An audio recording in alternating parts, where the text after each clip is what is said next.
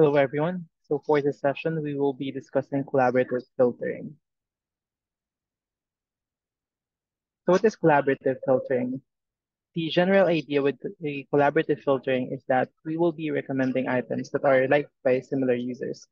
So here are some examples. I like dark, sci-fi, and action movies. So the system will recommend me to watch movies that were liked by the people with the same interests as me. Second example is I like Inception. So the system will recommend me to watch movies that are similar to Inception. So there are two um, common techniques for doing collaborative filtering. So there's user-based collaborative filtering and item-based collaborative filtering. In user-based collaborative filtering, we find users with the same interests and recommend items that they like or rated highly. In item-based collaborative filtering, we recommend an item if we like the items that are similar to this. So um, to have a better visualization on user-based collaborative filtering, you can look at this um, diagram.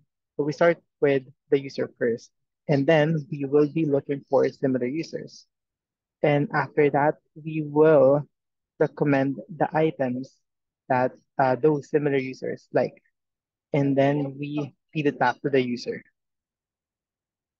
So for item-based collaborative filtering, then we start with the user and then we check the items that the user liked.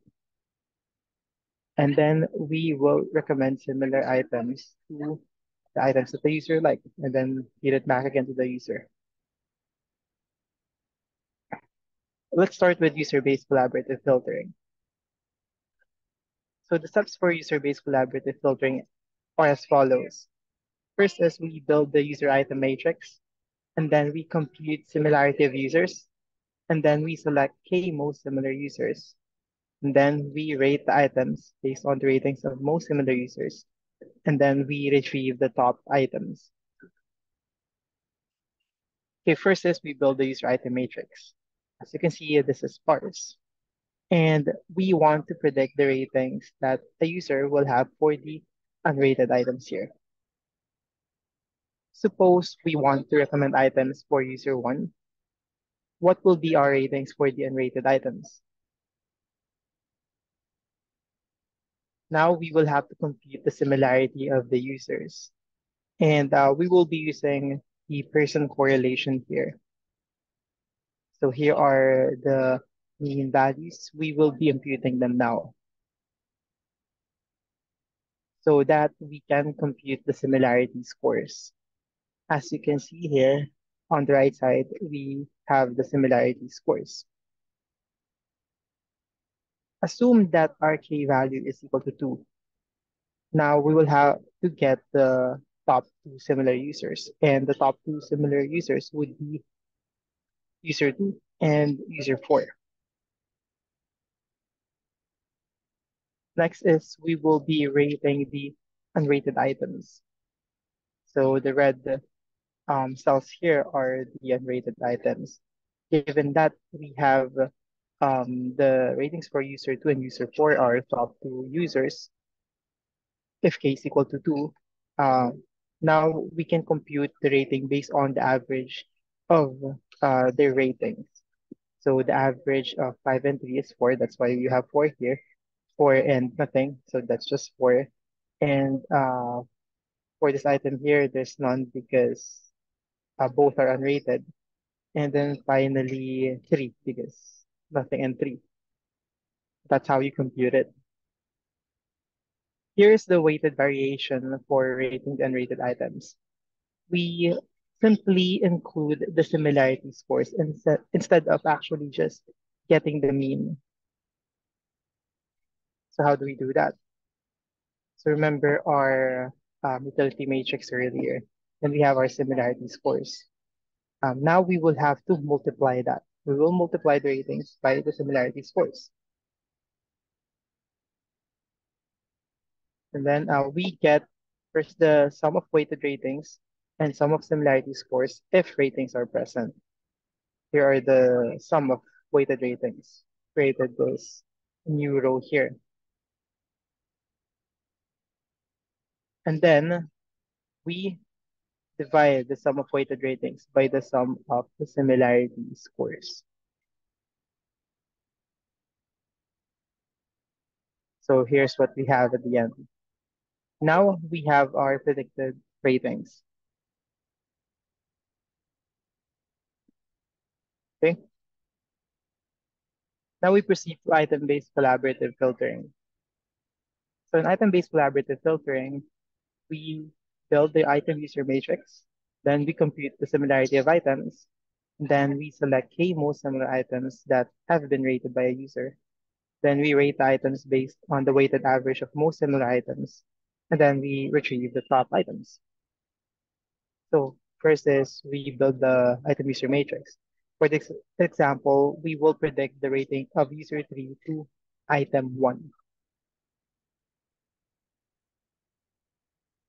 As usual, uh, we impute um, using the mean values for um, that particular um, user in this example. So we will be using the Pearson correlation here. And then uh, we check the similarities first, right?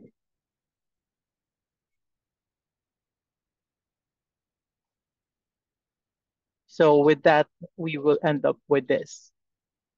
Now, if we have A is equal to 2, we get the top two similar items that we rated.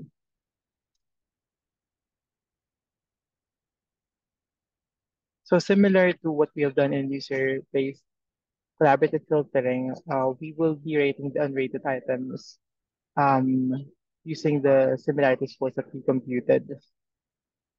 And then you can do the rest, similar to what we have done earlier. Now, to sum it all up, um, the utility matrix can be viewed as telling us um, to view this as a user-based or an item-based problem. So we can tackle this problem with any of those approaches, but there are some key differences. So in the user-based similarity, we can base our recommendation on the decisions made by similar users. For example, recommend items that the greatest number of them have purchased or rated highly. However, there is no symmetry. Even if we find pairs of similar items, we need to take an additional step in order to recommend items to users. As for item-based similarity, items tend to be classifiable in simple terms. For example, music tends to belong to a single genre. It is, it is impossible, for example, for a piece of music to be both 60s rock and 1700s baroque. On the other hand, there are individuals who like both 60s rock and 700s baroque, and who buy examples of both types of music. The consequence is that it is easier to, to discover items that are similar because they belong to the same genre than it is to detect that two users are similar because they prefer one genre in common. And I got um, these excerpts from our main reference textbook, which is the Mining of Massive Datasets book. So those are generally the key differences. And in practice, uh, normally we will be getting better um, recommendations with item based, but you could still try these.